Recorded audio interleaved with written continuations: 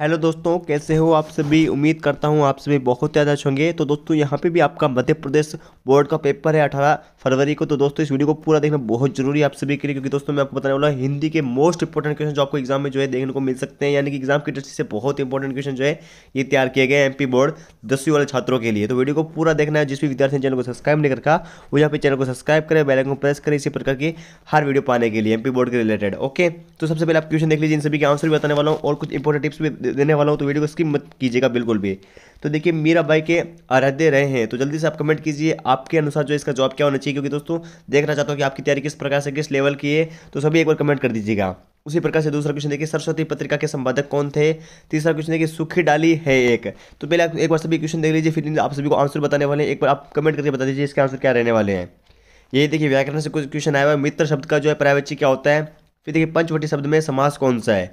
तो इस प्रकार से क्वेश्चन रहने वाले फिर आप इसके उत्तर भी आप देख पा रहे हो स्क्रीन के अंदर ओके तो चलिए, अब आपको नेक्स्ट क्वेश्चन को लेकर चलते हैं। तो दोस्तों, मध्य प्रदेश बोर्ड परीक्षा 2022 पर जो है, अपनी क्लास एप लेके आए माँ ऑफ़र। देखिए, इसमें टेंथ क्लास के सभी सब्जेक्ट के आपको मिलेंगे इंपॉर्टेंट क्वेश्चन सिर्फ़ नाइन्टी नाइन रुपीज़ में सभी सब्जेक्ट के। ट्वेल्थ क्लास के लेना चाहते हैं, वो भी आपको नाइन्टी नाइन रुपये में मिलेगा। तो सुनहरा अवसर है, सिर्फ़ ये ऑफ़र पच्चीस फरवरी तक रहने वाला है। तो जल्दी से अपनी क्लास ऐप को डाउनलोड कीजिएगा। दोस्तों, हमने अभी तक कुछ भी नहीं पढ़ रखा है तो दोस्तों, आप सभी के लिए बहुत इंपॉर्टेंट क्वेश्चन रहने वाले हैं एग्ज़ाम की दृष्टि से। तो अभी जो है, अपनी क्लास ऐप को डाउनलोड करें और जल्दी से जो है, इस टेस्ट सीरीज़ को बाई कर लीजिएगा।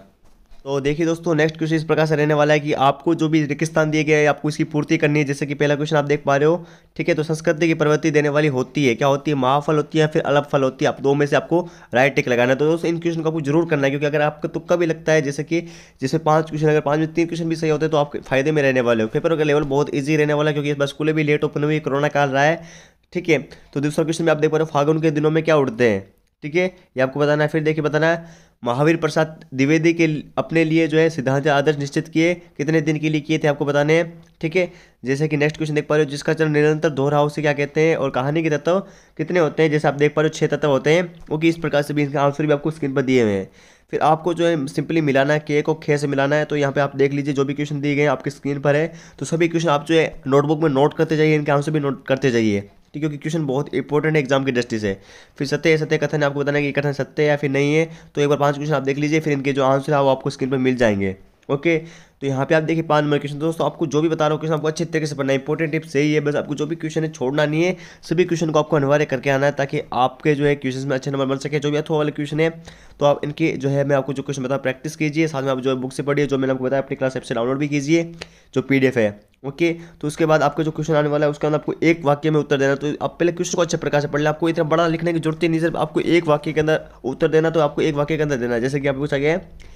शबरी कविता की रचयिता कौन है? तो आपको सिंपली उसका नाम लिखना है, ठीक है? ऐसा नहीं बताना कि ये भाई डॉक्टर प्रेम भारती कौन है वगैरह तो इसका ध्यान रखिएगा आप।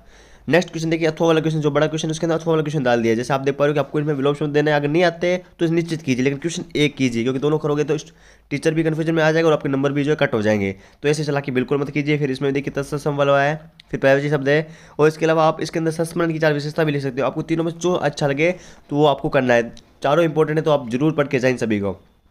ओके, फिर देखिए उपन्यास के कितने तत्व माने गए हैं, फिर इसके बाद लिखा, आत्मकथा किसे कहते हैं, इसकी विशेषता बतानी है, वो लेखक नाम भी लिखने हैं।